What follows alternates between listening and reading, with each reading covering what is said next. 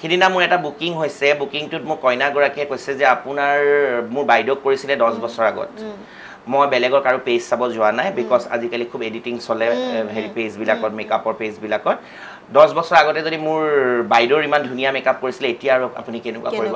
যেতিয়া আপোনালোকে কইনা এগৰাকীক সজায়। যিহেতু আপুনি ক'লে আপুনি ছিক্সটি বা ছিক্সটি ফাইভ থাউজেণ্ড চাৰ্জ কৰে এগৰাকী। কইনাৰ কাৰণে। এটা বহুতৰ মনত এইটো প্ৰশ্ন এটা উদয় হ'ব যে কিনো এনেকুৱা কৰে যে ছিক্সটি থাউজেণ্ড ল'ব লগা হ'ল এতিয়া আপুনি তাৰ উত্তৰত ৰাইজক বুজাই দিয়ক দিল্লীত যোন টপ লেভেলত আছে মেকআপ। আৰ্টিষ্ট তেওঁলোকে ব্ৰাইডেল মেকআপৰ এটা ফাংচনৰ two lakh fifty thousand rupees লয় টু লেক্স ফিফটি থাউজেণ্ড আৰু আউট অফ. ইণ্ডিয়া হ'লে আউট অফ দেলহি হ'লে তেওঁলোকক বিজনেছ ক্লাছ টিকেট দিব লাগিব. দুটা ৰুম দিব লাগিব এটা তেওঁলোকৰ এছিষ্টেণ্ট থাকিব এটা তেওঁলোকৰ তেওঁ মেইনগৰাকী থাকিব মেইনগৰাকী য'ত থাকিব তেখেতক আপোনাৰ চুইট ৰুম দিব লাগিব। কইনাৰ কাষৰ। সেইবোৰ ডিমাণ্ডো আছে আমাৰ বাৰু সেইবোৰ নাই। যেতিয়া এগৰাকী কইনাই হওক বা এক্ট্ৰেছেই হওক বা এগৰাকী মডেলেই হওক যেতিয়া মুখখন চাই পেলাই যেতিয়া হাঁহিটো মাৰি পেলাই কয় নহয় বিৰাট হেপী আপোনাক বুক কৰাৰ কাৰণে বিৰাট হেপী বিৰাট ছেটিছফাইড সেইখিনি সময়ত মই অকণ প্ৰাউড ফিল কৰোঁ মোৰ ভাল লাগে সেইটো শুনিবলৈ। যেতিয়া আপোনাক ক'লোৱে অকণমানতে জাৰিন খানে মোক যে দুদিনৰ কাৰণে মাতি পেলাই। তেখেতৰ মেনেজাৰক ক'লে যে কণ্টিনিউ ইয়াৰ লগতে কৰোঁ। তেতিয়া মই গম পালোঁ যে মোৰ কামটো। ভাল হৈছে তেখেতে মোক ভাল পাইছে। আৰু এটা মই কথা এইখিনিতে জানি- জানিব বিচাৰিম দেই। বিশেষভাৱে মই সকলো আমাৰ ৰূপসজ্জা আহ, যোনে কৰে তেখেতসকলক দেখিছোঁ তেখেতসকলে পেইণ্টিং খুব ধুনীয়া কৰে। এইটো বাৰু থাকেই নেকি হিডেন মই ৰাইজক ক'ব বিচাৰোঁ ৰাঘৱ যিখন আমাৰ যতীন্দাৰ চিনেমা আৰু নিশ্চিতাবাৰ চিনেমা আহি আছে আৰু সেইখনক আমি চবেই বহুত বেছি এক্সাইটেড হৈ আছোঁ। সেই ৰাঘৱৰ আটাইতকৈ মৰম লগা গানটো চিলমিল টোপনিতে। এই গানটোত কোনে মেকআপ আৰু হেয়াৰ কৰিছে গম পায়নে এইজন ব্যক্তিয়ে। নমস্কাৰ মই পল্লৱী হাজৰিকা। পুনৰবাৰ আপোনালোকক কথা ষ্টুডিঅ'লৈ আপোনালোকক স্বাগতম জনাইছোঁ।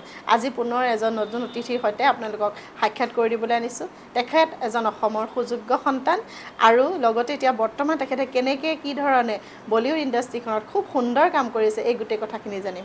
অসমৰ পৰা দিল্লীলৈ মানে অসমীয়া চিনেমা জগতৰ পৰা আৰম্ভ কৰি অসমত সুন্দৰ কাম কৰি কেনেকৈ বলিউডলৈ ঢাপলি মেলিলে এই যুৱকজনে আমি সকলোৱে জানো আহক। তেখেত হৈছে আমাৰ অসমৰ বিজয়জিৎ শইকীয়া ওৰফে বহুতে বাবাদা বুলিও মাতে খুব মৰমৰে গতিকে এয়া আমাৰ মাজত বিজয়জিৎ শইকীয়া। নমস্কাৰ। মই প্ৰথমতে ধন্যবাদ জনাইছোঁ এই চেনেলত মোক ইনভাইট কৰি মোৰ ইণ্টাৰভিউটো লোৱাৰ বাবে। তাৰপিছত মই হয় অৰিজিনেল অৰিজিনেলি তেজপুৰৰ কিন্তু মই ডাঙৰ দীঘল হৈছোঁ বালিপৰাত। আৰু মোৰ বালিপৰাতো ঘৰ আছে। মই বালিপৰা হাই ছেকেণ্ডেৰী স্কুলত পঢ়া মানে পঢ়াত তাতে মই। আৰু তাৰ পৰা মই গুৱাহাটীলৈ আহিলোঁ গুৱাহাটীৰ পৰা দিল্লীলৈ এইখিনি ক'ম আৰু আপোনালোকক। হয়। গতিকে আপোনালোকে গমেই পালে আজি তেখেতৰ বিষয়ে এজন ৰূপসজ্জাৰ নায়ক বুলি ক'ব লাগিব। খুব ধুনীয়াকৈ সকলোকে সজাই পৰাই সেই কেমেৰাৰ সন্মুখলৈ লৈ অহা এই বিশেষ ব্যক্তিসকল যাৰ লগত আজি মই বহুত বছৰৰ পৰা বহুত সময়ৰ পৰা কাম কৰি আছোঁ তেখেতসকলক আপোনালোকৰ সন্মুখলৈ চিনাকি কৰি দিব পৰাটো মই নিজকে খুব সৌভাগ্য বুলি ভাবোঁ। এতিয়া আমি আহক তেখেতৰ জীৱনৰ বিষয়ে জানো। বিজয়জিৎ দা আপুনি কেনেধৰণে আৰম্ভ কৰিছিলে? আপুনি অসমৰ পৰা কেনেধৰণে অনুপ্ৰাণিত হৈছিলে? লগতে আপোনাৰ পৰিয়ালৰ অকণমান চমু পৰিচয় আমাৰ দৰ্শকসকলৰ আগত দাঙি ধৰিলে খুব সুখী হ'ম। একচুৱেলি মই যিটো ফেমিলিৰ পৰা বিলং। কৰোঁ সেই ফেমিলিটো একচুৱেলি আমাৰ কালচাৰেল ফেমিলিয়ে হয়। মোৰ ককা এজন ফ্ৰীডম ফাইটাৰ হয়। তেখেতে আপোনাৰ তামৰ পত্ৰও পাইছে ঘনকান্ত শইকীয়া তেখেতৰ নাম। তেজপুৰৰ মানে এজন জানা মানুহ আৰু। তেখেতৰ তাৰপিছত মোৰ এগৰাকী পঢ়ি পেহী হয়। তেখেতে অসমীয়া চিনেমা কৰিছিলে এটা টাইমত। তিনিখন আপোনাৰ নাম আছিলে ভাই ভাই ঔ চেনাই চিৰাজ। তেখেতৰ নাম হৈছে মামনি শইকীয়া। কিন্তু তেখেত এতিয়া নাই জড়িত। ল'ৰা ছোৱালী ডাঙৰ দীঘল কৰি একচুৱেলি পেহাৰ চাকৰি বাহিৰত আছিলে কাৰণে বাহিৰে বাহিৰেই হ'ল। তাৰপিছত মোৰ আৰু এগৰাকী পেহী আছিলে তেখেত হৈছে বিউটিচিয়ান। তেখেতে বম্বেত আপোনাৰ বিউটিচিয়ানৰ ক'ৰ্চ কৰি আহিছিলে আহি তেখেতৰ নিজৰ চেলুন আছিলে। তাৰপিছত তেখেতে খুব ব্ৰাইডেল চাইডেল সজাইছিলে। মই যেতিয়া সৰু থাকোঁ আছিলোঁ। তেতিয়া তেখেতে ব্ৰাইডেল মেকআপ কৰিব গ'লে মই জোৰ জবস্তি কওঁ ময়ো যাম লগত ময়ো। যাম তাৰপিছত মই তেখেতৰ লগত যাওঁ এই ক্লিপটো দে কাটাটো দে।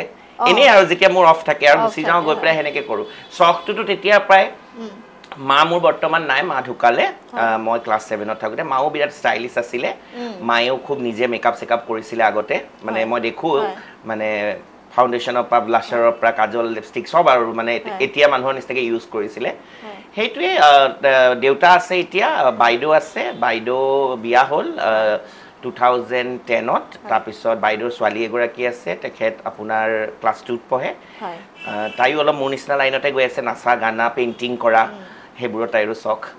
গতিকে এনেধৰণে আপোনাৰ জাৰ্ণি বা যাত্ৰা আৰম্ভ যাত্ৰা মানে প্ৰথমটো এইখিনি মই মানে মন আছিলে মোৰ মানে এইটো মানে বিষয়ত আহিবলৈ।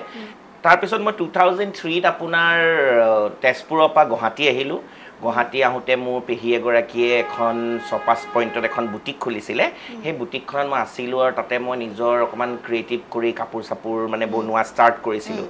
তাৰপিছত মই সেই কাপোৰবোৰ আমাৰ অসমীয়া এক্ট্ৰেছবিলাককো দিছিলোঁ ফটোশ্বুট চটোশ্বুটত পিন্ধিবলৈ কাৰণে মানে কাপোৰবোৰ। তাৰপিছত মোৰ বহুত বিস্ময় নন্দিনী এইবিলাকত মোৰ কাপোৰ চাপোৰৰ ডিজাইনো আহিছিলে। তেতিয়া মই ডিজাইনিংটো ভাবিছিলোঁ। তাৰপিছত মই লাহেকৈ ৰাতুলক লগ পালোঁ মই ৰাতুলক লগ পাই মই মানে মানে বুটিকত মানে মই নথকা হ'লোঁ। তাৰপিছত মই ৰাতুলৰ লগত ৰাতুল বড়োৰ পৰাই মই মেকআপ শিকা আপোনালোকে চবেই জানে জনপ্ৰিয় এজন মেকআপ আৰ্টিষ্ট। অসমত এটা টাইমত দপদপাই আছিলে। এতিয়া বৰ্তমান তেখেতো দেলহিতেই তেখেতৰো চেলুন আছে তেখেতেও আপোনাৰ মেকআপ কৰে তেখেতেও কৰে চেলিব্ৰিটিৰ তেখেতৰ লগত মই এজ এ হেয়াৰ ষ্টাইলিষ্ট হিচাপে কাম কৰিব ল'লোঁ। তাৰপিছত মই হেয়াৰ কৰা হ'লোঁ। হেয়াৰ কৰা কৰি থাকোঁতে থাকোঁতে থাকোঁতে মই মেকআপটোতো শিকিলোঁ তেওঁৰ পৰা। তাৰপিছত লাহেকৈ তেখেত দিল্লীলৈ শ্বিফ্ট হৈ গ'ল। হৈ যাওঁতে তেতিয়া তেখেতৰ যিমান কণ্টেক্টছবিলাক আছিলে যিবোৰ মানুহৰ ঘৰত মই মেকআপ কৰিব গৈছিলোঁ। সিহঁতবিলাকে তেখেত নাই কাৰণে মোক কণ্টেক্ট কৰা হ'ল। তেতিয়া মই গৈ সেইবোৰ মেকআপ ষ্টাৰ্ট কৰিলোঁ কৰি পেলাই তাৰপিছত মই ফটোশ্বুট আমাৰ কমল বৰ্মন কমল দে তাৰপিছত প্ৰাঞ্জল প্ৰতিম ৰাহুল বিশ্বাস অনুপ বৰুৱা এতিয়াতো আৰু বহুত আহিছে মইতো এহেঁতৰ লগতে কাম কৰিছোঁ পুৰণা। তেখেত তেখেত হয়। বহুত কাম কৰিছোঁ। কমল দাৰ লগতো দিল্লীত কৰিছোঁ। ইফালে প্ৰাঞ্জল দাৰ লগত বহুত কাম কৰিছোঁ মানে। প্ৰাঞ্জল দা এতিয়া দিল্লী অহা যোৱা কৰি আছে। যোৱাকালিও মই এটা শ্বুট কৰিছোঁ। অঁ। প্ৰাঞ্জল দাৰ লগত। তেখেত আজি গৈছে। সেয়াই আৰু। তাৰপিছত কমল দাৰ লগতো কৰিছোঁ। দিল্লী আহোঁতে শ্বুট। ৰাহুল বিশ্বাসৰ লগত বহুত দিন নাই কৰা অনুপ দাৰ লগত বহুত দিন নাই কৰা আৰু কমল দেৰ লগতো এতিয়া মই মাজতে গৈছিলোঁ গুৱাহাটীলৈ এটা কিবা জুৱেলাৰী হোৰ্ডিঙৰ শ্বুট আছিলে তাতে প্ৰীতি আছিলে এজ এ। মানে মডেল প্ৰীতি কংকনা। অসমীয়া এক্ট্ৰেছ হয়। চবেই বহুত ধুনীয়া বুলি কয়। তেখেতক শ্বুট কৰিলোঁ হোৰ্ডিঙৰ কাৰণে সেইটো কৰি মেলি পেলাই মই থাকিল মানে থাকিলোঁ এদিন। তাৰপিছত আমাৰ নিবিৰ স্বপ্নম তাইও মোৰ বিৰাট ভাল বন্ধু তাইও এগৰাকী এক্ট্ৰেছেই হয়। তেখেতৰো এটা শ্বুট কৰিলোঁ কৰি তাৰপিছত ঘূৰি আহিলোঁ আৰু। যদি মই সুধোঁ আপুনি যিহেতু প্ৰথমৰ পৰাই একদম সৰু অৱস্থাৰ পৰা আমি আচলতে কোনেও আমি নিজৰ প্ৰফেশ্যনটো চুজ নকৰোঁ। সেইটো আমি সকলোৰে সত্য। যেনেকৈ মই আৰু সৰুতে যদিও মোক সোধে আপুনি জীৱনত কি হ'বলৈ বিচাৰে বা তুমি জীৱনত কি হ'ব বিচাৰা বা এম ইন লাইফ আমি আচলতে ঘপককৈ খুব বেছিতকৈ বেছি টিচাৰ বা এনেকুৱা ধৰণৰ কওঁ। গতিকে আপোনাৰো জীৱনত চাগে সেই সৰু সময়খিনিত তেনেকুৱাতো কোনো নিৰ্ধাৰিত বা তেনেকুৱা ধৰণৰ কোনো এইম ইন লাইফ বা কিবা হ'ম বুলি ভবা নাছিলে। গতিকে আপুনি কেনেকৈ ধৰণে এই জীৱিকা এতিয়াতো আপোনাৰ প্ৰফেশ্যন হয় এইটো। এই জীৱিকাত আহিম বুলি আপুনি কেতিয়া ভালকৈ বুজি উঠিছিলে বা কেতিয়া আপোনাৰ সেই মনটো আছিলে যে নহয় মই এই প্ৰফেশ্যনটোৱে চুজ কৰিম আৰু ইয়াৰ পৰাই মই মোৰ যি হয় মোৰ প্ৰফেশ্যনেলিজিমটো মই ইয়াৰ পৰাই মই আহিম আহিব মানে মোৰ এনেকুৱা ধৰণে ভাবিছিলে। ফাৰ্ষ্ট অফ অলটো মই ডিজাইনিঙত চখ আছিলে আগৰ পৰাই।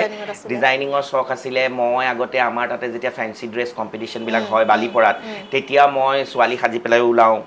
আৰু আপোনাৰ কেতিয়াবা ল'ৰা সাজিও ওলাওঁ তেতিয়া মই নিজে যিটো কাপোৰ পিন্ধিম মই সেইটো নিজে মানে কাট কৰি পেলাই নিজে ষ্টিচ কৰি পেলাই নিজৰ ওপৰত পিন্ধোঁ। মই তাৰপিছত সেইটোতো আছিলে। আৰু তাৰপিছত ফাৰ্ষ্ট অফ অল আৰু এটা কথা মোৰ সৰু মই খুব ভাল পেইণ্টিঙো কৰোঁ। মই ফাইন আৰ্টৰ পাঁচ বছৰৰ ক'ৰ্চ কৰি থোৱা আছে। যিটো মই তেজপুৰত কৰিছিলোঁ। বালিপৰাৰ পৰা মই শনিবাৰে যাওঁ। গৈ মই শনিবাৰে ক্লাছ কৰি আইতা ঘৰত থাকি দেওবাৰে ক্লাছ কৰি আকৌ ঘূৰি আহোঁ। তাৰপিছত সেইটোৰ কাৰণে মোৰ স্কুলৰ টাইমিংটো অলপ শনিবাৰে প্ৰব্লেম হৈছিলে। তেতিয়া মই এখন এপ্লিকেশ্যন দি স্কুলত যে মই আজি এইটো এইটোৰ কাৰণে যাওঁ বুলি মই মানে ছুটি লৈ পেলাই অলপ এঘণ্টা আগতে ওলাইছিলোঁ। তেনেকৈ মই সেইটো পাঁচ বছৰ শিকিলোঁ। শিকাৰ পিছত তাৰপিছত গুৱাহাটী আহি পেলাই ডিজাইনিঙত নামিছিলোঁৱেই। হয়। নামাৰ পিছত মোৰ তাৰপিছত দেখিলোঁ অকণ মেকআপলৈ বেছি চখ হ'ল।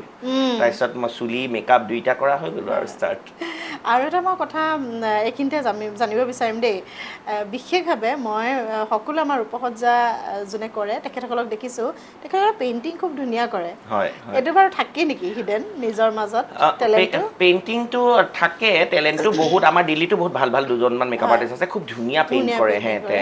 মানে খুব ধুনীয়া ধুনীয়া পেইণ্টিং পেইণ্টিং কৰে কিন্তু একচুৱেলি মানে বস্তুটো কি পেইণ্টিঙৰ মানে আমাৰ আমি যে মেকআপ কৰোঁ মুখখনো এখন পেইণ্টিঙৰ নিচিনা কেনভাছ। সেইখনত আমি সেই পেঞ্চিল দি পেলাই পেপাৰত আঁকিলে ডাৰ্ক ডাৰ্ক শ্বেড শ্বেডছবিলাক কৰিব লাগে বেলেগ বেলেগ পেঞ্চিলৰ নম্বৰ থাকে বেছি কলা কৰিব হ'লে বেলেগ ব্লেক এণ্ড হোৱাইটৰ কথা কৈছোঁ মই. তেনেকে। গতিকে আমাৰ মেকআপতো ছেইম সেইটোৱেই।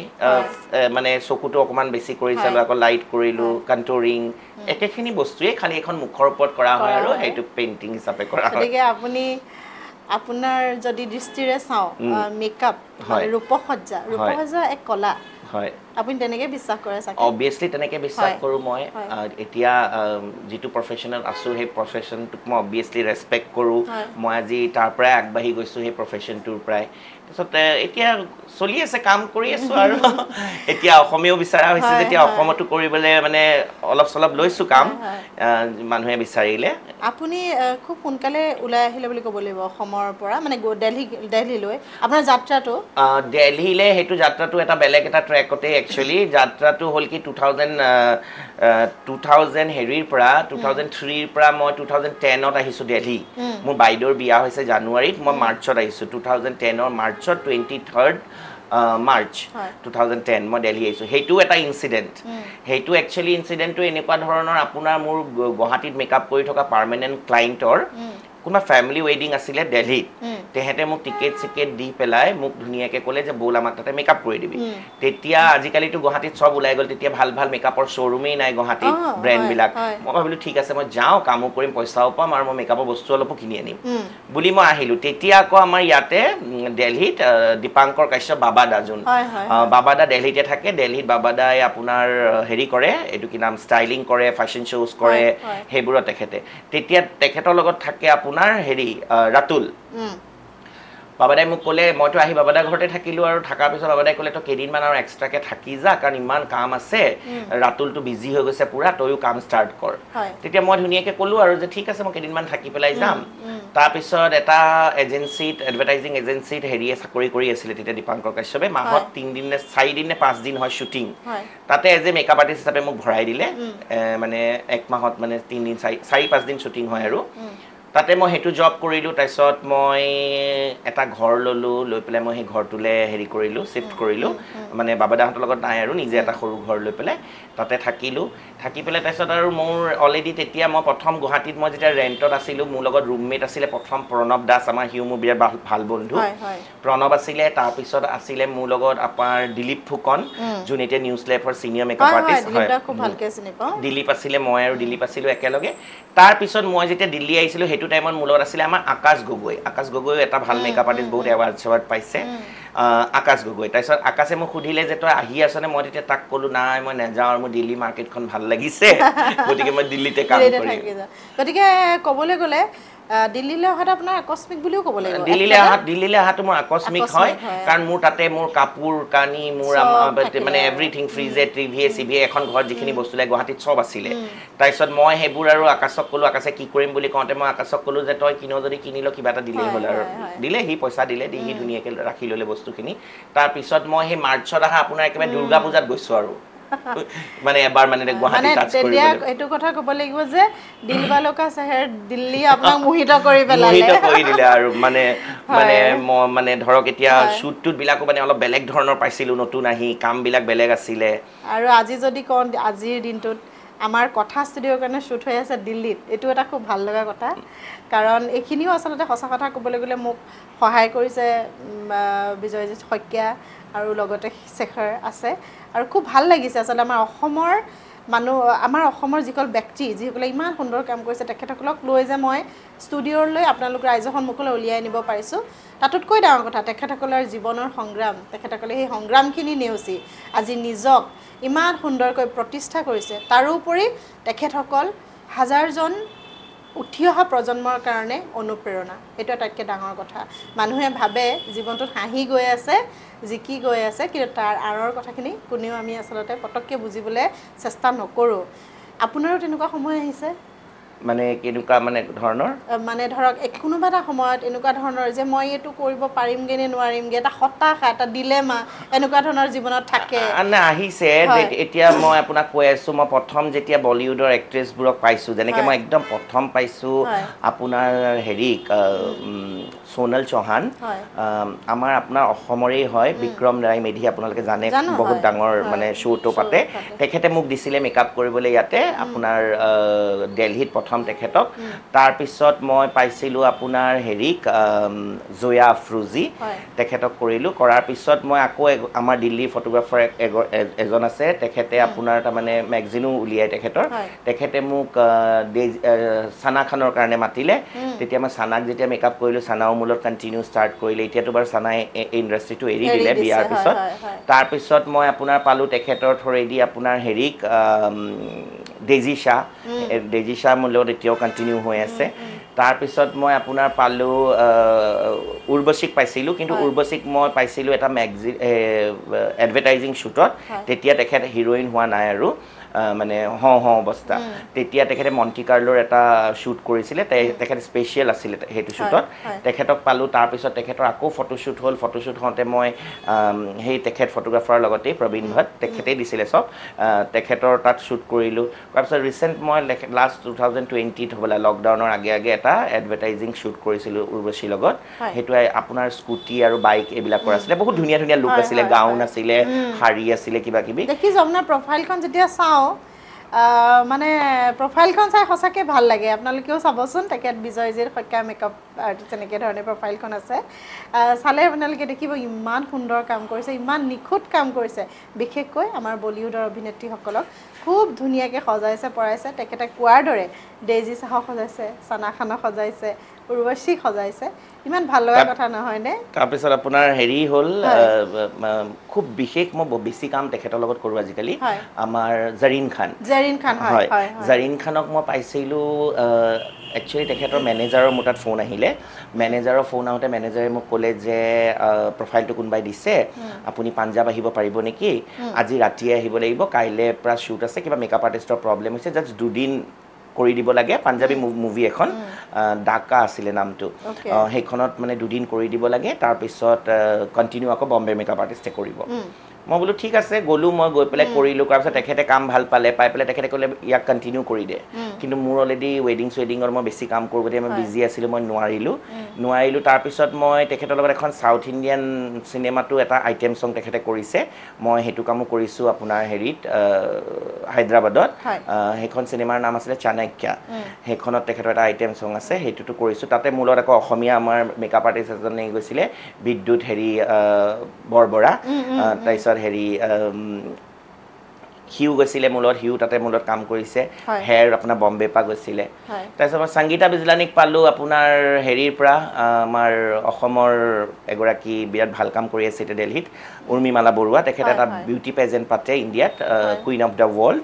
সেইটোত তেখেত জাজমেণ্টৰ কাৰণে আহিছিলে সংগীতা বিজলানী। তেতিয়া মই তেখেতক পালোঁ। তাৰপিছত তেখেতৰ লগতো মোৰ কণ্টিনিউ হৈ গৈ আছে এতিয়া। প্ৰত্যেকটো মানে হেৰিতে মই কৰি আছোঁ।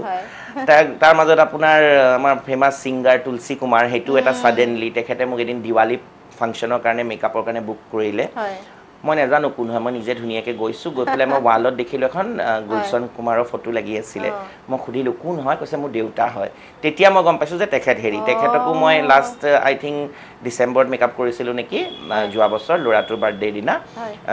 সেই সেনেকেই আৰু কৰি কৰি মানে গৈ আছে আৰু। আৰু এতিয়া জাৰিনৰ লগত এটা বিৰাট ডাঙৰ প্ৰজেক্টটো কৰিছিলোঁ ট্ৰেইল উইথ জাৰিন জি টিভিত আহিছিলে। সেইটোততো মই মানে বহুত দিন দিছোঁ সময়। আপোনাৰ উদয়পুৰৰ পৰা লৈ একদম লেহ লাডাখ হৈ শেষ হৈছেগৈ একদম গোৱা চোৱা হৈ পেলাই মানে দীঘলীয়া প্ৰজেক্ট এই সময়খিনি যেতিয়া আপোনালোকে শ্বুট কৰি থাকে তেখেতসকলক পায় এনেইতো আমাৰ এনেকুৱা ধাৰণা এটা নহয় জানো কেতিয়াবা যে বলিউডৰ দিবাসকল বুলিয়ে ক'লোঁ হয়। তেখেতসকলক আমি যেতিয়া লগ পাম কেনেকুৱা ধৰণৰ বা হ'ব হয়নে? মনত তেনেকুৱা মনত সন্দেহ এটা? মনত আহে কিন্তু তেনেকে। আপোনাৰ সেই অনুভৱখিনি কেনেকুৱা? এইটো বাৰু ভয় লাগে বাৰু নলগা নহয়। মানে ভয় মানে অকণমান নাৰ্ভাছ ফিল হয় নোহোৱা নহয়। বিকজ কেনেকুৱা বা হয় কি বা হয় কিন্তু মই যে কৈছোঁ যেনে এনেকুৱা ভাল। মানে মই যাৰ যাৰ লগত কাম কৰোঁ কৰিছোঁ আজিলৈকে। ইমান ভাল নহয় ইমান ভাল ভাবিব নোৱাৰি আচলতে যদি মই এনেকৈ কওঁ মাজতে আপোনাক ৰাখিছোঁ দেই। আপোনাক যদি এনেকৈ কওঁ আপুনি নিজে মানুহজন খুব ভাল কাৰণে হয়তো ভাল ভাল মানুহবিলাক লগ পাইছে কাৰণ কেতিয়াবা মই বিশ্বাস কৰোঁ সেই কথাটোত মোৰো জীৱনত তেনেকুৱা হয় বহুতে সোধে মানে হিংসা দেশবিলাকৰ কথাও সোধে যে আপোনাৰ জীৱনত এনেকুৱা কোনোবাই আপোনাক আঘাত সানিছে নেকি বা তেনেকুৱা তেতিয়া মই কওঁ যে মই বেছিভাগ মানুহ নাইণ্টি পাৰ্চেণ্ট মানুহ মোৰ লাইফত মই ভাল মানুহ লগ পাইছোঁ। ছেম আজি আপোনাৰো কথাটো মই তেনেকৈ ক'ব বিচাৰিম যে আপুনি বেছি ভাল মানুহে লগ পাইছে। মই মানে সঁচাকে ক'বলৈ গ'লে মোৰ এতিয়া যিখিনি ক্লাইণ্টটো আছে দেলহিত। পাৰ্মানেণ্ট ক্লাইণ্ট ইমান ভাল মানুহ নহয় মই পাইছোঁ আজিলৈকে। যাৰ লগত কাম কৰিছোঁ। এনেকুৱা কোনো নহয় যে মানে মোক মানে পাহৰি যাব বা কিবা। তিনি বছৰ পিছত হ'লেও মোক মাতি আকৌ কাম কৰাই কিবা এটা ঘৰত ফাংচন হ'লে। সিদিনা মোৰ এটা বুকিং হৈছে বুকিংটোত মোক কইনাগৰাকীয়ে কৈছে যে আপোনাৰ মোৰ বাইদেউক কৰিছিলে দহ বছৰ আগত। মই বেলেগৰ কাৰো পেজ চাব যোৱা নাই বিকজ আজিকালি খুব এডিটিং চলে হেৰি পেজবিলাকত মেকআপৰ পেজবিলাকত দহ বছৰ আগতে যদি মোৰ বাইদেউৰ ইমান ধুনীয়া মেকআপ কৰিছিলে এতিয়া আৰু আপুনি কেনেকুৱা কৰিব? সেনেকে মই কৈছোঁ ঠিক আছে যেতিয়া মই মেকআপ কৰিব যাম আপুনি এইটো কথা কিন্তু মোক ক'ব দেই। মই ইনষ্টাত লগাম. ঠিক আছে বুলি কৈছে তেতিয়া। এটা কথা মই জানিব বিচাৰোঁ মেকআপ আমাৰ যিসকল ৰূপসজ্জাৰ আপোনালোক থাকে আৰ্টিষ্টসকল এটা কথা প্ৰায়ে দেখা যায় যে আচলতে এইটো আমাৰ অসমত হয় যে যোনজনে মেকআপ কৰে তেখেতে হেয়াৰ ষ্টাইলো কৰে। কিন্তু মই বাহিৰৰ যিসকলৰ প্ৰফাইল চাওঁ আজি বলিউডৰ কোনোবা এগৰাকীয়ে ফটোখন আপলোড কৰিলে বা কোনোবা এগৰাকী যদি তেনেকৈ কৰে বাহিৰৰ তেওঁলোকে মেকআপৰ নামটো বেলেগ লিখে হেয়াৰ ষ্টাইলিঙৰ বেলেগ লিখে। এইটো সম্পৰ্কে অকণমান আভাস দিয়কচোন আমাৰ। মই- আপোনাক এটা কথা কৈ আছো। এতিয়া মই হওক আমাৰ আমাৰ নৰ্থ ইষ্টৰ যিকেইটা মেকআপ আৰ্টিষ্ট মানে দেলহিত আছে অসমৰে হওক বা বাহিৰৰ গোটেই কেইটা মেকআপ আৰ্টিষ্টে মেকআপ আৰু চুলি কৰিবলৈ জানে। আমাৰ অসমত তাৰমানে মেকআপ আৰু চুলিটো একেটা মেকআপ আৰ্টিষ্টে কৰে ন. Strong point. আমাৰ দেলহিটো অসমৰ যিখিনি আছে গোটেইখিনিয়ে জানে। কিন্তু ঘটনাটো এইটো হৈছে এতিয়া ময়ো জান- চবেই জানে। কিন্তু ঘটনাটো এইটো হৈছে মেইন আপোনাৰ ইয়াতে তাৰমানে যোনে তাৰমানে আপোনাৰ মেকআপ কৰিবলৈ তাৰমানে অকল মেকআপ কৰিব জানে চুলি কৰিব নাজানে সিহঁতে তাৰমানে আপোনাৰ হেয়াৰ ষ্টাইলিষ্টবিলাক লোৱা ষ্টাৰ্ট কৰিলে. আজি আপুনি মোৰ প্ৰফাইলত দেখিলেও মোৰ নামটো আপুনি হেয়াৰত নেদেখে বেলেগ বেলেগ হেয়াৰ ষ্টাইলিষ্টৰ নামেই দেখিব। এইটো হৈ গ'ল তাৰপিছত তেনেকৈ যেতিয়া কৰা হৈ গ'ল ন হেয়াৰ ষ্টাইলিষ্টবিলাকে মানে মেকআপ আৰ্টিষ্টবিলাকে হেয়াৰ ষ্টাইলিষ্ট লোৱা হৈ গ'ল তেতিয়া এটা আপোনাৰ নহয় হেৰি হৈ গ'ল লাইক ডিমাণ্ড হৈ গ'ল। ক্লাইণ্টে এতিয়া আমাক বুক কৰাৰ লগে লগে সোধে যে আপুনি হেয়াৰত কাক আনি আছে? তেখেত হেয়াৰ ষ্টাইলিষ্টৰ প্ৰফাইলটো এবাৰ পঠিয়াওকচোন. আপুনিতো বুক হৈ গ'ল। তাৰপিছত তেওঁলোকে ক'ব যে হেৰি এইটো কি নাম? এই অমুকক লগ তে তেখেত যদি ফ্ৰী নাই তেতিয়াহ'লে আকৌ অপশ্যন দিব লাগে। তাৰ মাজত চিলেক্ট কৰি এজন দুজন তেওঁ তেওঁ মোৰ লগত পাৰ্টিকুলাৰলি কাম কৰা কেইজনমান আছে যোনে মোৰ লগত কাম কৰে। এতিয়া মই আপোনাৰ হেৰি গৈ আছোঁ গুৱাহাটীতো মোৰ এটা বুকিং আছে January twenty nine thirty thirty first তাতে মোৰ লগত হেয়াৰ ষ্টাইলিষ্ট গৈ আছে। ডিমাপুৰত এটা ফেব্ৰুৱাৰী বুকিং আছে সেইটোতো হেয়াৰ ষ্টাইলিষ্ট বুক আছে মই চব দেলহিৰ পৰা লৈ যাওঁ। গতিকে এবছৰমানৰ আগতেই তেখেতসকল বুকিং হয়। গম পাইছে নহয় কিমান ব্যস্ততা ভৰা জীৱন। আচৰিত নালাগেনে বাৰু আমাৰ এইসকল ব্যক্তি অসমৰ পৰা এনেকৈ উঠি আহি আজি কিমানজন যুৱ প্ৰজন্মক অনুপ্ৰেৰণা হিচাপে তেওঁলোকে অনুপ্ৰেৰণা যোগাই আহিছে আচলতে। আৰু লগতে এইটোও ভাল লাগে যে সেই কৰ্মস্পৃহা আৰু তেওঁলোকৰ সেই কৰ্মৰে নিজক পৰিচিত কৰিছে। আজি মই আপোনাক আৰু এটা কথা সুধিবলৈ বিচাৰিম যে আপোনাৰ জীৱনৰ আটাইতকৈ গৌৰৱান্বিত মুহূৰ্ত যিটোত আপুনি নিজকে কৈছে যে হয় মই আজি মই নিজক লৈ বহুত সময়ত হয় নহয় জানো আমাৰ হয়, নিজক। লৈ গৌৰৱ কৰা এটা মুহূৰ্ত যদি আপোনাৰ জীৱনৰ ক'বলৈ দিওঁ তেতিয়াহ'লে তিনি সেনেকুৱা ধৰণৰতো মানে বহুত হয়। কিন্তু যেতিয়া মানে মই আপোনাৰ ধৰক মানে কৈ আছোঁ আৰু যেতিয়া মই এটা মেকআপ কৰি পেলাই ফ্ৰী হওঁ। যেতিয়া এগৰাকী কইনাই হওক বা এক্ট্ৰেছেই হওক বা এগৰাকী মডেলেই হওক যেতিয়া মুখখন চাই পেলাই যেতিয়া হাঁহিটো মাৰি পেলাই কয় নহয় বিৰাট হেপী আপোনাক বুক কৰাৰ কাৰণে বিৰাট হেপী বিৰাট ছেটিছফাইড সেইখিনি সময়ত মই অকণ প্ৰাউড ফিল কৰোঁ মোৰ ভাল লাগে সেইটো শুনিবলৈ। যেতিয়া আপোনাক ক'লোৱে অকণমানতে জাৰিন খানে মোক যে দুদিনৰ কাৰণে মাতি পেলাই। তেখেতৰ মেনেজাৰক ক'লে যে কণ্টিনিউ ইয়াৰ লগতে কৰোঁ। তেতিয়া মই গম পালোঁ যে মোৰ কামটো। ভাল হৈছে তেখেতে মোক ভাল পাইছে.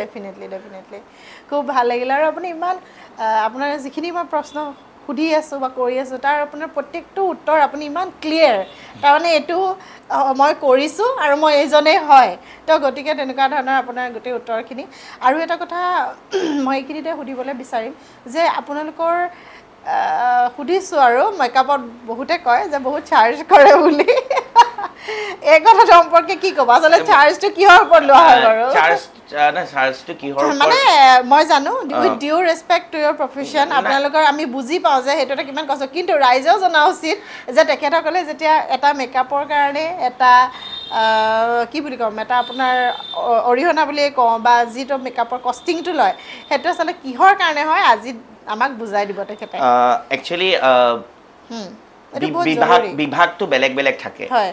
আপোনাৰ এতিয়া পাৰ্টি মেকআপ হ'লে বেলেগ পইচা হয় সেইটো আপোনাৰ গুৱাহাটী অসম চব জেগাতে আছে। ব্ৰাইডেল হ'লে বেলেগ হয় প্ৰি ব্ৰাইডেল হ'লে বেলেগ হয় ফটোশ্বুট হ'লে বেলেগ হয়। তাৰপিছত এইখিনি বস্তুৱে যদি আউট অফ দেলহি হয় তেতিয়া বেলেগ হয়। তাৰপিছত আপোনাৰ আউট অফ ইণ্ডিয়া হ'লে বেলেগ হয়। চবৰে ৰেটটো বেলেগ। মোৰ আপোনাৰ দেলহিত party makeup twenty five bridal sixty sixty five লওঁ মই আৰু প্ৰি ব্ৰাইডেলবিলাক ফিফটি লওঁ। আৰু শ্বুটিঙৰ মোৰ পৰ্টফলিঅ' হ'ল টুৱেণ্টি টুৱেণ্টি ফাইভ লওঁ মই। বাকী বাকী আৰু হেৰি এইটো কি নাম আউট অফ ইণ্ডিয়া হ'লেতো হেৰি এতিয়া মই লাষ্ট ইয়েৰ দিছ ইয়েৰ এতিয়া মই আকৌ প্ৰশ্ন কৰিম দেই প্ৰশ্নটো হৈছে যেতিয়া আপোনালোকে কইনা এগৰাকীক সজায়। যিহেতু আপুনি ক'লে আপুনি ছিক্সটি বা ছিক্সটি ফাইভ থাউজেণ্ড চাৰ্জ কৰে এগৰাকী। কইনাৰ কাৰণে। এটা বহুতৰ মনত এইটো প্ৰশ্ন এটা উদয় হ'ব যে কিনো এনেকুৱা কৰে যে ছিক্সটি থাউজেণ্ড ল'ব লগা হ'ল এতিয়া আপুনি তাৰ উত্তৰত ৰাইজক বুজাই দিয়ক তাৰ উত্তৰত বুজাবলৈ গ'লে হৈছে কথাটো এইটো যে আজিকালি ফাৰ্ষ্ট অফ অল মানুহে প্ৰফাইল চাই পেলাই কামটো লয় কাম। কাম মানে। বুকিং কৰে প্ৰফাইল চাই পেলাই বুকিং কৰে আৰু কিমান দিন এক্সপিৰিয়েঞ্চ সেইটোও সোধে কিছুমানে ফোনতো সোধে মোৰ। মেনেজাৰক এইবিলাক কথা সোধে আৰু কাৰণ মোৰ তাত ইনষ্টাত মেছেজবিলাক আহিলে মই নম্বৰটো খুজি পেলাই নম্বৰটো আনি মোৰ মেনেজাৰক দি দিওঁ বাকী। তেখেতেই হেণ্ডেল কৰে অঁ গতিকে বেলেগ একো নাই এজন যদি মেকআপ আৰ্টিষ্টৰ ভাল নাম আছে তেখেতে ভাল কাম কৰি আছে তেতিয়াহ'লে তেখেতৰ পৰা কোনোবাই কাম কৰোৱাইছে আগতে। তেখেতেও ৰেকমেণ্ড কৰি দিয়ে যে ইমান ইমান পইচাৰ ভিতৰত হয় সি। আৰু এইটো কথা কোৱা নাই যে মই বহুত এক্সপেঞ্চিভ মেকআপ আৰ্টিষ্ট বা দিল্লীত যোন টপ লেভেলত আছে মেকআপ। আৰ্টিষ্ট তেওঁলোকে ব্ৰাইডেল মেকআপৰ এটা ফাংচনৰ two lakh fifty thousand rupees লয়। আৰু আউট অফ. ইণ্ডিয়া হ'লে আউট অফ দেলহি হ'লে তেওঁলোকক বিজনেছ ক্লাছ টিকেট দিব লাগিব. দুটা ৰুম দিব লাগিব এটা তেওঁলোকৰ এছিষ্টেণ্ট থাকিব এটা তেওঁলোকৰ তেওঁ মেইনগৰাকী থাকিব। মেইনগৰাকী য'ত থাকিব তেখেতক আপোনাৰ চুইট ৰুম দিব লাগিব। কইনাৰ কাষৰ। সেইবোৰ ডিমাণ্ডো আছে আমাৰ বাৰু সেইবোৰ নাই। এতিয়া সেই আঢ়ৈ লাখ টকাটো আৰু এই ছিক্সটি ফাইভ থাউজেণ্ডটোৰ মাজত কি পাৰ্থক্য পালোঁ, মানে বস্তুটো। তেনেকুৱা ধৰণৰ। আচ্ছা মই এইখিনিতে এইটো বস্তু ক'ব পাৰোঁ নেকি? যে যিটো আপোনালোকৰ মানে প্ৰত্যেকৰে মই ক্ষেত্ৰত ক'বলৈ গৈছোঁ প্ৰত্যেকজন উপসজা আৰ্টিষ্টৰ ক্ষেত্ৰতে মই ক'বলৈ গৈছোঁ যে যিটো প্ৰাইচত ধৰক কোনোবাই বিছ হাজাৰ লৈ আছে কোনোবাই ত্ৰিছ হাজাৰ কোনোবাই ষাঠি আপুনি ক'লে কিছুমানে দুই লাখ আঢ়ৈ লাখলৈকে লয়। এই কথাটোৰ অৰ্থ এইটোও আমি ক'ব পাৰোঁ যে সেই যিখিনি এক্সপেৰিয়েঞ্চ আপোনালোকে গেডাৰ কৰিলে আজি আপোনাৰোতো ষোল্ল বছৰ মানেই হ'ল প্ৰায় মই দেলহিত তেৰ বছৰ হ'ল তেৰ বছৰ? বাকী আগৰখিনি আৰু। অসমত গতিকে ষোল্ল বছৰ সেই এক্সপেৰিয়েঞ্চটোৰ কাৰণে বা আপোনালোকে যিখিনি নিজৰ জীৱনত সময় পাৰ কৰিছে সেই সময়খিনি আৰু সেই নিখুঁতভাৱে যি এজনী কইনাক সমাজৰ মাজলৈ উলিয়াই দিয়ে সেই দিনটোত সেইখিনিৰ কাৰণে আচলতে সেই মূল্যটো বুলি। অঁ সেই সেইটোৱে। মূল্য। বিশেষকৈ আৰু এনেকুৱা কথা নহয় যে মই আপোনাক এটা কথা কৈ আছোঁ। মই যিমান মানে আউট অফ দেলহি মানে কাম কৰিবলৈ গৈছোঁ মোৰ মোৰ বাৰেলিত এখন এটা মানে ভাল স্পেচিয়েল ক্লাইণ্ট আছিলে। তেওঁলোকৰ মই ডাঙৰ ছোৱালীজনীক মেকআপ কৰিলোঁ। তেওঁলোকৰ মই আপোনাৰ সৰুজনী ছোৱালীক মেকআপ কৰিলোঁ। তেওঁলোকৰ মই সিদিনা ভায়েকৰ মেকআপ আছিলে তেহেঁতৰ যিজনী বৌয়েক আহিছে মই তেখেতক মেকআপ কৰিছোঁ। সিহঁতৰ তাত যোৱাৰ য- য- মানে যেতিয়া যাওঁ মই বাৰেলিলৈ তেহেঁতৰ তালৈ মেকআপ কৰিবলৈ আহিব সময়ত মোক তাৰমানে ধুনীয়া ধুনীয়া গিফ্ট এটা এটাও দিয়ে সিহঁতে. লগতে কেতিয়াবা ব্লেংকেট দিছে. কেতিয়াবা কিবা দিছে তেনেকুৱা ধৰণৰ বস্তু আপোনাৰ এটা জীৱনৰ এই অভিজ্ঞতাবিলাক কেতিয়াবা কেতিয়াবা চাগে নিজৰো খুব ভাল লাগে নহয়নে ভাল লাগে out of out of India যিবিলাক ডেষ্টিনেশ্যন ৱেডিং হয়। সেইবিলাকত খুব ভাল লাগে বিকজ তাতে আমি পাৰ্টি এটেণ্ড কৰোঁ আমাক পাৰ্টিবিলাক এটেণ্ড কৰিব দিয়ে। বিশেষকৈ যিমান মই বাহিৰলৈ যাওঁ মোক এটেণ্ড কৰিবলৈ কয়েই। মই কৰিব মন নাযায় কিন্তু মই কৰোঁ। কাৰণ তাতে গোটেই আপোনাৰ বাহিৰৰ ছিংগাৰ মানে আপোনাৰ বাচ্চা চাচ্চা সিহঁতক মাতে।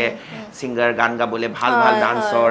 হিৰ' হিৰ'ইনবিলাক আহে বলিউডৰ পৰা। সেনেকুৱা ধৰণে খুব হাই লেভেল বিয়া আৰু সেইবোৰ। মই যাৰ কথা কৈছোঁ মানে যোন মোতকৈ ডাঙৰ এক্সপেঞ্চিভ মেকআপ আৰ্টিষ্ট তেওঁ গৈছিলে লাষ্ট ইয়াৰ এখন থাইলেণ্ডত বিয়া আছিলে। মই গৈছিলোঁ দৰাৰ ভনীয়েক। দৰাৰ বৌয়েক দৰা মাক আৰু দৰাৰ খুৰীয়েক। আৰু আপুনি জাৰ্মানীৰ বিয়াখনৰ কথাও কৈছিলে।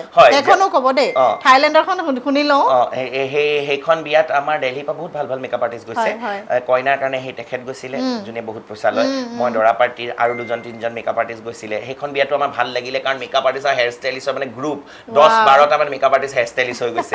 গতিকে আমাৰ মানে ছেপাৰেটলিয়ে হৈ গৈছে আৰু পাৰ্টি মানে তাতে বেলেগ party মানে এটেণ্ড কৰিছোঁ আমি বিয়া।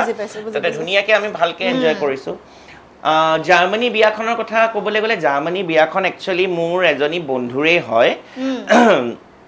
তেখেত আপোনাৰ তেখেতো দেলহিত মোৰ লগত ফ্লেটমেটেই আছিলে। তেখেত আপোনাৰ মিছ ইণ্ডিয়ালৈকো গৈছিলে। তেখেতৰ নাম আছিলে হিমাক্ষী আগৰৱাল। তেখেত আপোনাৰ মিছ ইণ্ডিয়া টপ টেনত আছিলে টু থাউজেণ্ড ইলেভেন হ'বলা আৰু তাৰ আগতে তেখেতে কলিকতাত জিকিছিল টাইটেলটো মিছ আপোনাৰ হেৰিও হৈছে তেখেত নৰ্থ ইষ্টো হৈছে। তেখেতৰ মানে তাৰ জাৰ্মানীৰ ল'ৰাৰ লগতেই মানে বিয়া হৈছে। ল'ৰাজনে আগতে দিল্লীত চাকৰি কৰিছিলে। তেতিয়া তেওঁলোকৰ চিনাকি। তাৰপিছত তাই বিয়ালে মোক মাতিলে কৈছে ইয়াতে মেকআপ আৰ্টিষ্টৰ বহুত দাম ঐ তই আহ বুলি কৈছে। মই কৈছো ঠিক আছে তইতো এনেও বিয়া খাব আহিবি right, তই আহ। চ' মই গ'লো তাইক মেকআপ চেকআপ কৰিলোঁ তাৰপিছত এক্সট্ৰা পাঁচ সাত দিন থাকিলোঁ ফুৰিলোঁ আৰু আহিলোঁ আৰু। আৰু যদি আজি আপোনাক একেষাৰে মই সুধোঁ আজি আপুনি এই প্ৰফেশ্যনটো চুজ কৰাৰ বাবে সুখীনে মই বহুত সুখী। আৰু মইতো আৰু চবকে মানে এতিয়া হয়তো চব জেগাতে হয়। ইমান মেকআপ আৰ্টিষ্ট ওলাই গৈছে মানে আপোনাৰ অসমেই হওক বা দেলহিতেই হওক বা বম্বেতেই হওক চবেই কৰক। এইটো কথা নহয় যে মানে নকৰোঁ। হাতকে হাত চবৰে বেলেগ বেলেগ। মোৰ হাতখনো বেলেগ আজি দিল্লীত যিমান মেকআপ আৰ্টিষ্ট আছে চবৰে বেলেগ বেলেগ। চবেই জাষ্ট দেখাই দিব যে এইটো বিজয় নিচিনা কৰি দিয়ে বুলি সেইটো কৰি দিব পাৰিব কিন্তু তাৰ মাজতো ডিফাৰেঞ্চ থাকিব। হাত কেইখন একে নহয় চবৰে বেলেগ হয় গতিকে চবেই কৰক চবেই পইচা কমাওক চবেই আৰামছে চলক। মোৰ সেইবিলাকক লৈ প্ৰব্লেমেই নাই। অসমৰ পৰা চাৰিগৰাকী ষ্টুডেণ্টে মোৰ দিল্লীত আহি শিকি গৈছে। তাৰপিছত পাৰ্টিকুলাৰলি হায়দৰাবাদৰ পৰা আহিছে মোৰ তাত শিকি গৈছে। বেংগলোৰৰ পৰা আহিছে মোৰ পৰা শিকি গৈছে। আপোনাৰ ইন্দোৰৰ পৰা আহিছে মোৰ পৰা শিকি গৈছে। গতিকে শিকি আছে। শিকাই আছো আৰু। আৰু বিজনে মোক কেতিয়া দিব বাৰু মেকআপ মই তোমাৰ কাইলৈ তুমি গুচি যাম বুলি কৈছা নহ'লে কাইলৈ মেকআপ এটা কৰি দিলোহেঁতেন তাকে মানে ইমান ধুনীয়া ধুনীয়া কথা শুনি আছো নহয় জাৰ্মানীত মেকআপ দি আহিছে থাইলেণ্ডত মেকআপ দি আহিছে মই ইয়াতে বহি আছো ময়ো মেকআপ ল'ব লাগে নে কি কয় আপোনালোকে মইতো নাই জাৰ্মানীটোতো এতিয়া একদম। জাৰ্মানীটো সেইটো হেৰি টু থাউজেণ্ড মই নাইনটিনত গৈছিলোঁ তাৰ আগত মই ইউৰোপ পুৰা ফুৰিব গৈছিলোঁ এইটিনত। তাৰপিছত মই এই this year two thousand twenty three মই মাৰ্চত ইউ এছ গৈ আহিছোঁ মোৰ এতিয়া দহ বছৰৰ ভিজা লাগি আছে মই আকৌ এপ্ৰিলত যাম।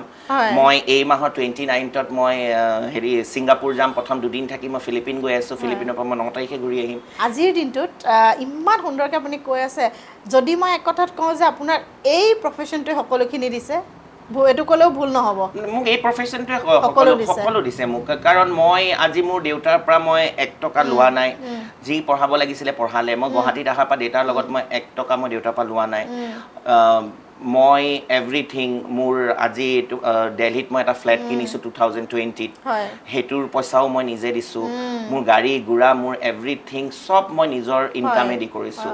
মোৰ তাতে মানে কাৰো মানে হাত নাই যে কোনোবাই মোক হেৰি কৰিছে। হয় ফ্লে এইটো কথা মিছা কথা নকওঁ। ফ্লেটটো কিনোতে মোৰ ভাল ভাল দেলহিৰে দেলহিৰো দেলহিৰ হওক বা অসমৰ হওক অসমৰ এগৰ এজন হয়। আৰু দেলহিৰ আপোনাৰ দুজন বন্ধুৱে মোক দিছিলে পইচা অলপ ধাৰলৈ। মই ঘূৰাই দিলোঁ সেয়া পইচা। মানে টোটেল আপোনাৰ সেই বাৰ লাখমান টকা মই লৈছিলোঁ ধাৰলৈ। সেইখিনি মই ঘূৰাই দিলোঁ। তাৰপিছত চব নিজে কৰিছোঁ। মই দেউতাৰ ওচৰত মানে একো হেৰিয়ে নকৰোঁ। মানে এতিয়া দেউতা মোৰ লগতে আছে এবছৰ হ'ল দেউতা কিবা অসুখ এটাৰ কাৰণে। ট্ৰিটমেণ্ট চলি আছে। ইমান চিৰিয়াছ নহয়। কিন্তু সেয়া দেউতাৰ ইভেন মেডিচিনটোও মই আনিব দেউতাক পইচা নিদিওঁ মই অনুৱাই দিওঁ মানে থাকিলেও।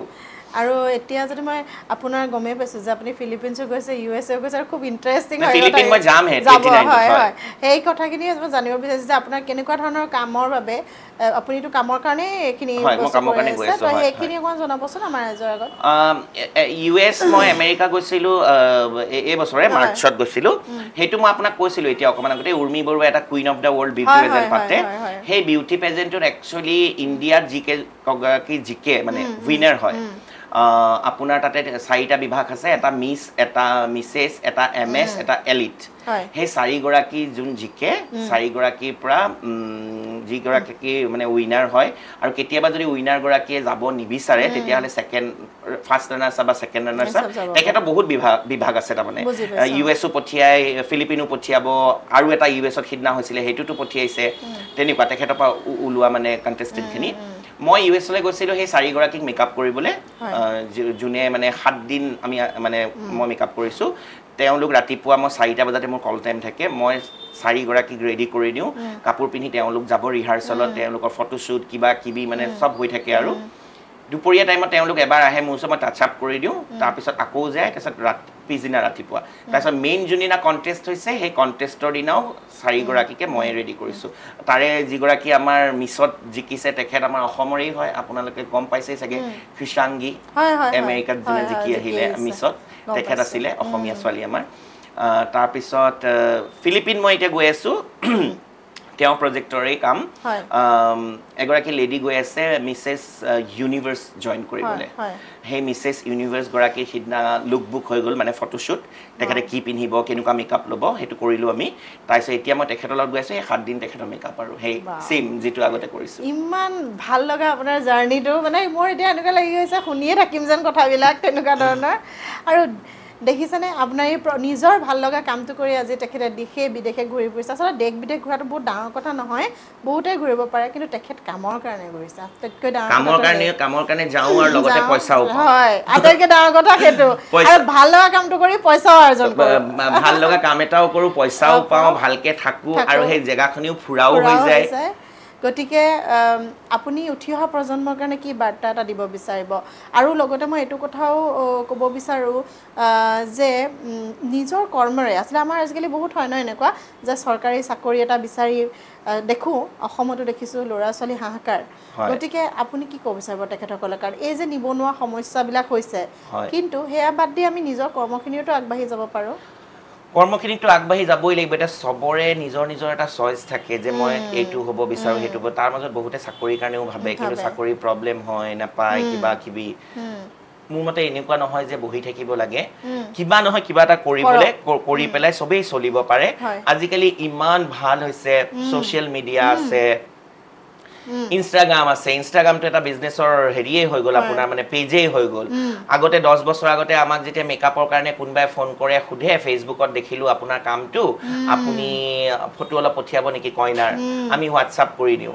তাৰপৰা চাই আমাক বুক কৰে। আজিকালিতো ইনষ্টাগ্ৰামত আপোনাৰ মানুহে চাই পেলাই একে এটা মেছেজ বনাব বনাই পেলাই আপোনাৰ বিছটা মেকআপ আৰ্টিষ্টক ফৰৱাৰ্ড কৰি দিব। আপুনি ইমান ইমান ডেটত ফ্ৰী ফ্ৰী আছেনে? আপুনি আপোনাৰ ৰেটবিলাক কিমান?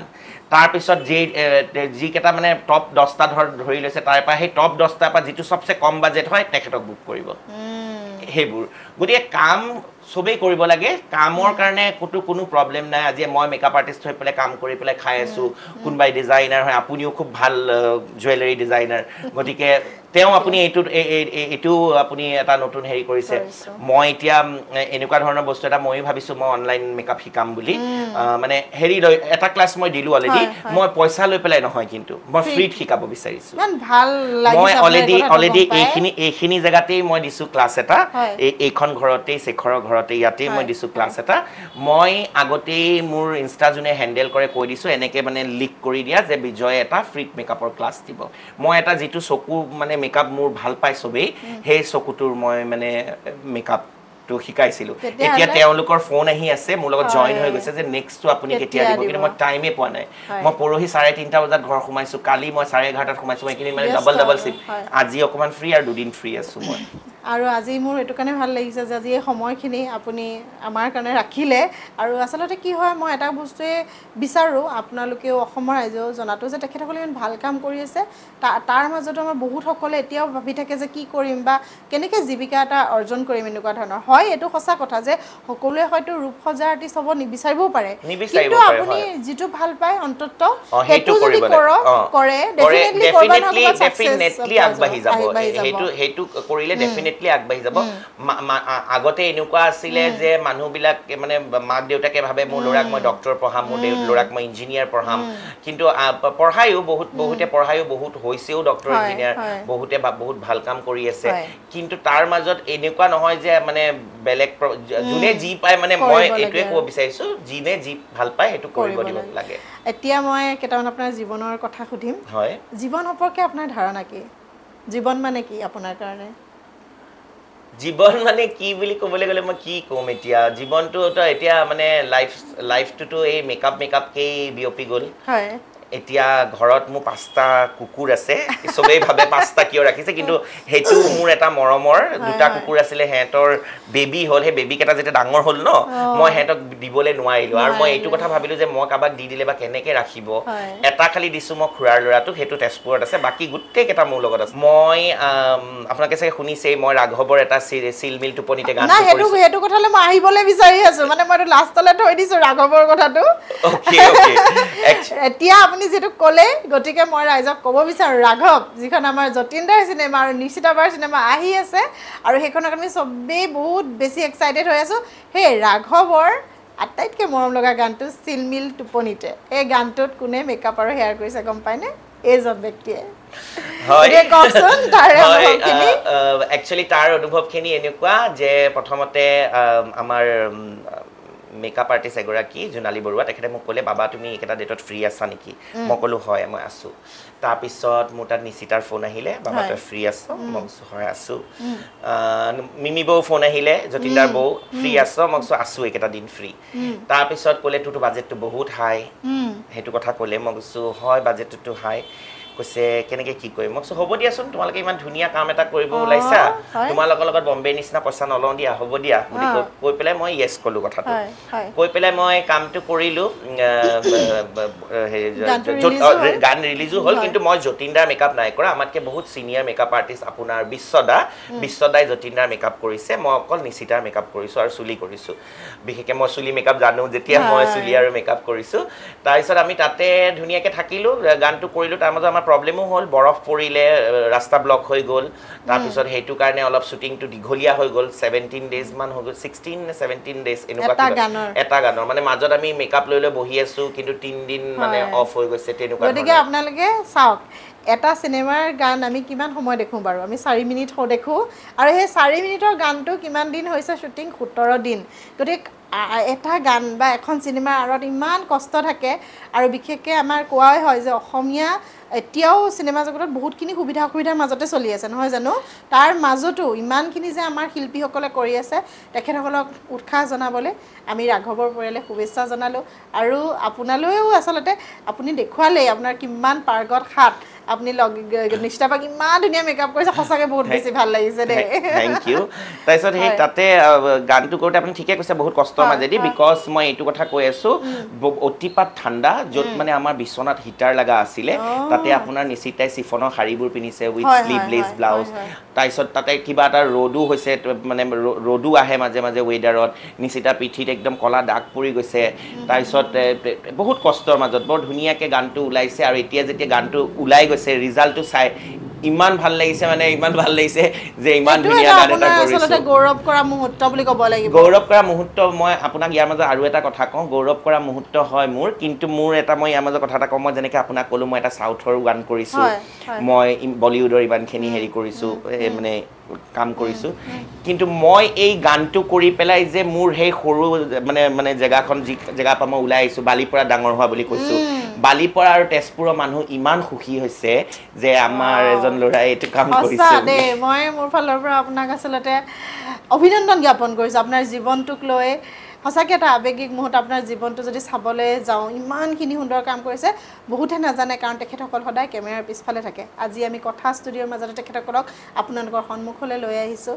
আহ, বিজয়দাৰ দৰে প্ৰত্যেকেই আগবাঢ়ি আহক আৰু সকলোৱে এই জয়যাত্ৰাত এনেদৰে মানে নিজৰ জীৱনত জয়যাত্ৰাত আগ অগ্ৰসৰ হৈ যাওক আগবাঢ়ি যাওক সেয়াই আমাৰ প্ৰচেষ্টা সদায় থাকিব।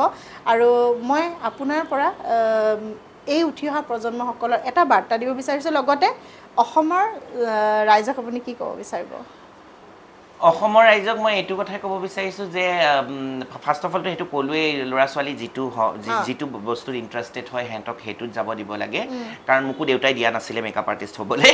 গতিকে আজি দেউতাই মোক প্ৰাউড ফিল কৰে। কিন্তু আমাৰ ঘৰখনত ইয়াৰ মাজত এইটোও কৈ দিওঁ পাহৰি গৈছিলোঁ। আমাৰ ঘৰখনত আকৌ দেউতাই মই হিৰ'ইনৰ লগত থিয় হৈ থকা ফটোবিলাক বন্ধাই থোৱা নাই। মই যি ক্ৰিকেটাৰক মেকআপ কৰিছোঁ সেয়া ফটো বনাই থৈছে। মই ক্ৰিকেটাৰ মই এইটো ক্ৰিকেটাৰ। আপোনাৰ গৌতম গম্ভীৰক কৰিছোঁ। এইটো কথা কোৱাই নাছিলে পাটেলক কৰিছোঁ।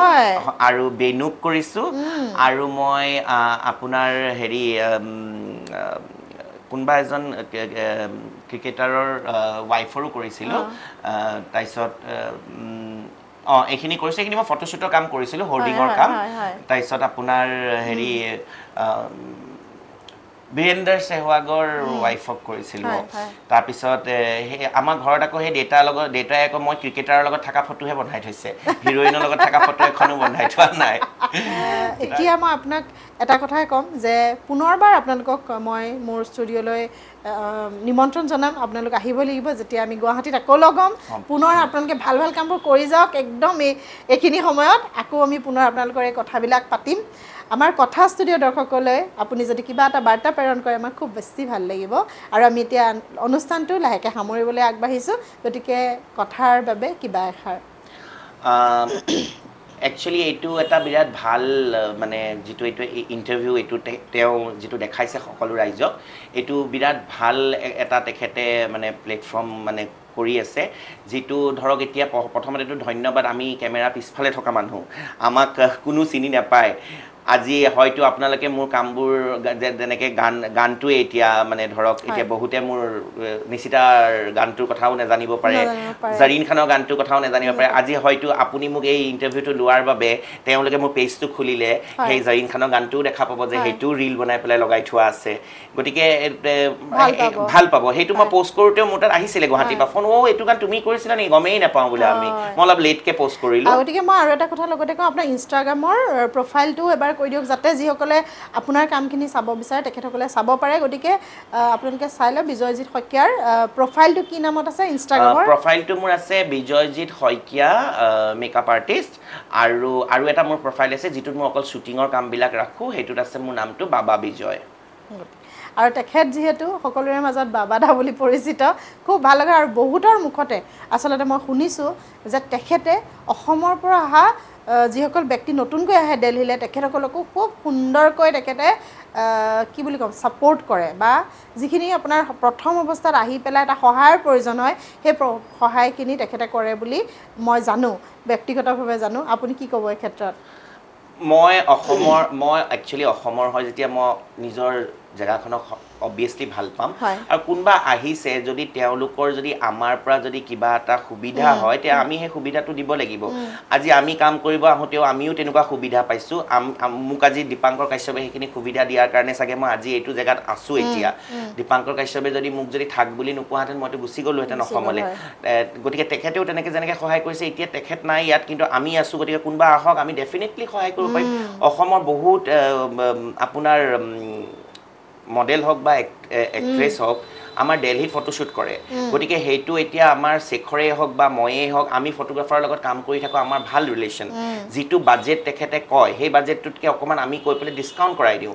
কৰাই পেলাই আমি কাম কৰোঁ সেইটো। তেনেকৈ বহুত আছে। আজি টু থাউজেণ্ড টেনৰ পৰা নিবিৰ শবনমে ৰাহুল দত্তাৰ লগত শ্বুট কৰি আছে প্ৰীতি কংকনে প্ৰ- প্ৰবীণ ভট্টৰ লগত কৰিলে আৰু এগৰাকী মডেল আছিলে নাম তেখেতৰ জাৰা। তেখেতে হেৰিৰ লগত কৰিলে প্ৰবীণ ভট্টৰ লগত। হিমাক্ষী যাৰ কথা কৈছিলোঁ হিমাক্ষীয়ে কৰিছিলে ৰাহুল দত্তাৰ লগত। তেনেকুৱা গতিকে। আমাৰ পৰা- আমাৰ কাৰণে যদি তেওঁলোকৰ বিছ ত্ৰিছ হাজাৰ টকা এটা আমাৰ দুখাৰ কথা ক'লে বাচে তেতিয়াহ'লে ডেফিনেটলি আমি হেৰি কৰিম। আমিতো আমাৰ প্ৰাপ্যটো পামেই ফটোগ্ৰাফাৰে আমাক দিবই। সেইটোৱে।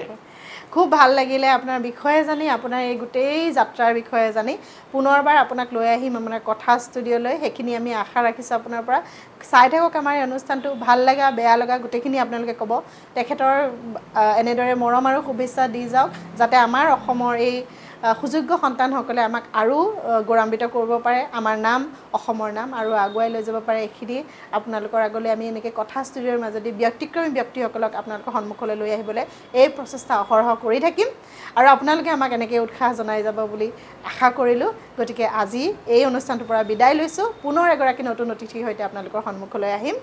আপুনি এষাৰ শেষত কওক আৰু আমি অনুষ্ঠানটো সামৰিম। সকলো ৰাইজক মই এটা কথাই ক'লোঁ যে মোক এটা আশীৰ্বাদ দিয়ক। যাতে মই আৰু আগবাঢ়ি যাব পাৰে। আগবাঢ়িবলৈ মানে তেখেতেতো ইমানেই ভাল কাম কৰি আছে ক'বলগীয়া নাই। আমি প্ৰত্যেকজনেই দেখিছোঁ যে এওঁলোকে কিমান সুন্দৰ কাম কৰি আছে এখেতসকলে। গতিকে এটা কথা ক'ম যে মৰম আৰু শুভেচ্ছা ৰাখিব। ধন্যবাদ। ধন্যবাদ।